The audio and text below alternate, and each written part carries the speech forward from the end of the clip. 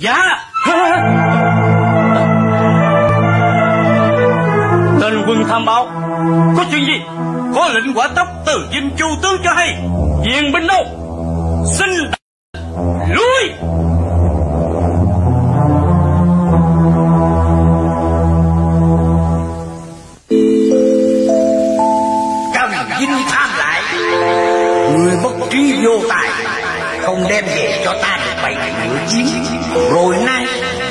Quân binh tan rã trong cuộc đỏ sức năm Ngươi không tìm được quân kỳ, Tội tính mạng, Đáng tử hình.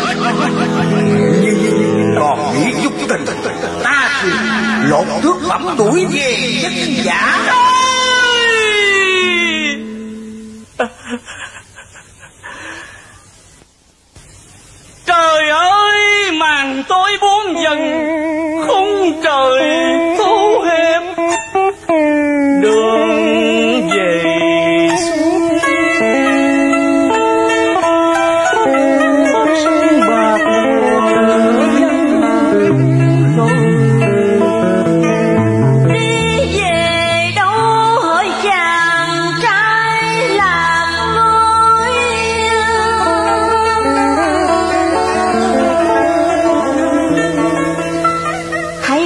Khởi đầu. Từ bước xuống âm ti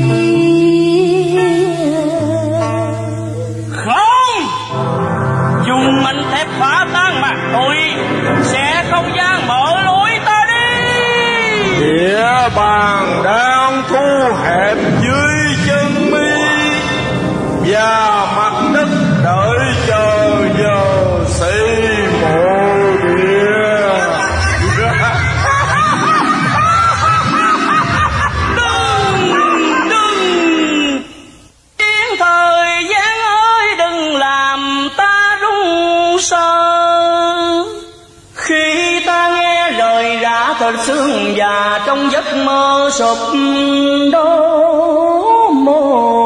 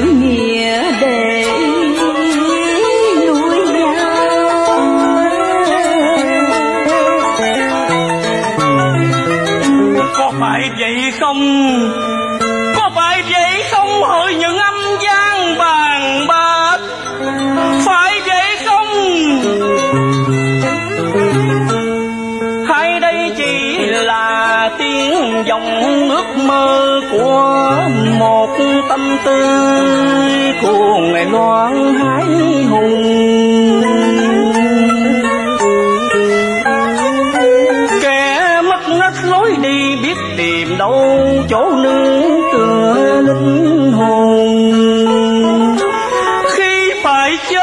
Ai người xây mộ địa, còn sống trên đời ai là kẻ xót thương ta? Sông hàng xưa đâu còn nửa bóng người cha, giờ tất cả bây giờ ly tan hết lần về quê ngỡ ngàng cùng cảnh vật, chớ không làm sao nhặt lại chút tình thường Trong cõi tha ma lạnh Từng tốt quan hồn theo bóng đêm, Ẩn hiện trần dần nánh vuốt nhọn, Cười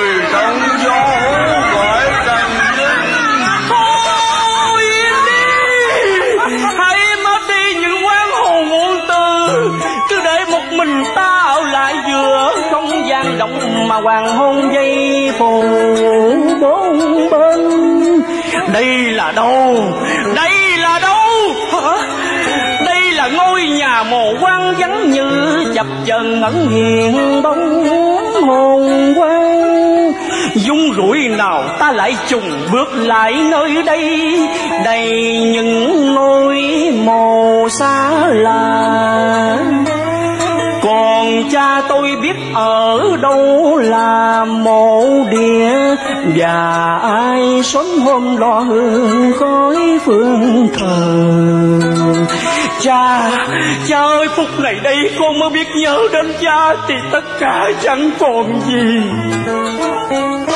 Chỉ còn lại trong lương tâm con chữ phản với hình ảnh mảnh kim bài đang triêu nặng giữa tim con cha cha ơi con sẽ tìm đến ngôi mộ của cha mà ta tội. Cha cha. Bây giờ anh đã khỏe Phải đi tuần sát bên ngoài. Em Em lo canh phòng nội trại nhé. Em đâu? Hãy cẩn thận bố phòng nghiêm ngặt Ai đó đứng lại đâu Dạ khoan.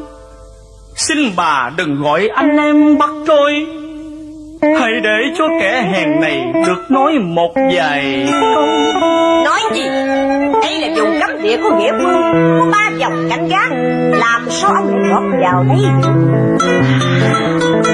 Thì chính ông là võ thám. Dạ không Tôi không phải là võ tham Bà ơi tôi xin bà hãy thương hại cho một kẻ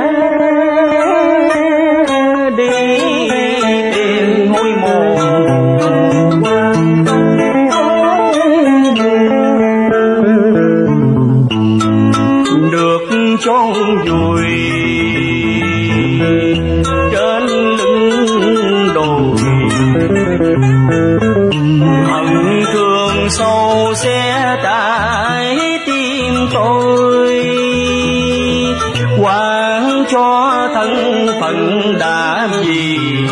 Tôi gây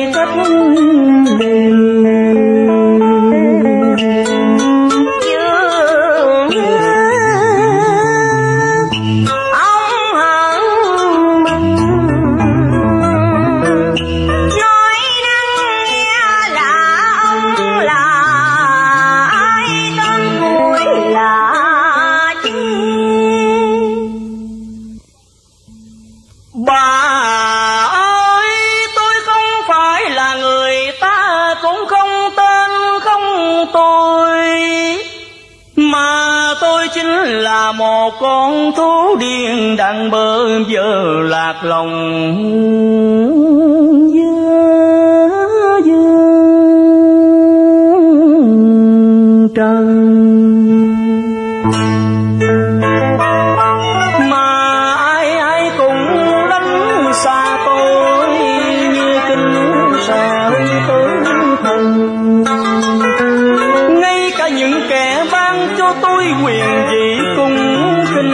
bất tài nên xua đuổi tôi nhưng biết về đâu với một thân trơ rồi tôi phải lần về nơi xóm cô làng xưa. Rồi tôi dừng lại nơi đây, cái nơi mà nắm đất lạnh đá vùi chôn mãi mãi cội từng gian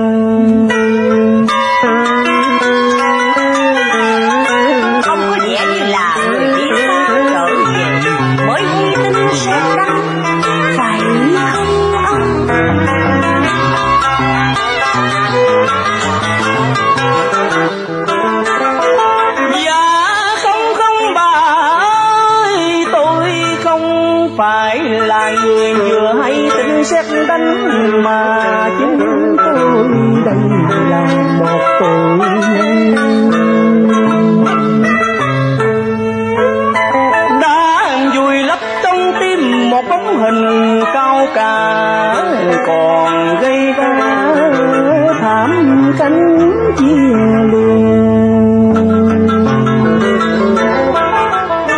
chính tôi đã làm cho đất lỡ trời long và ngược đảo mọi đường về.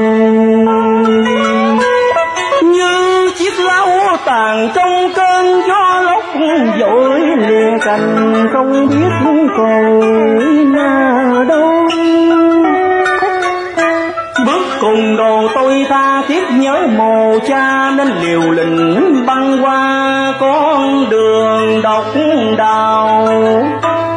nếu đêm nay tôi không được quỳ bên ngôi mộ, thì tôi không sống được cuối đêm này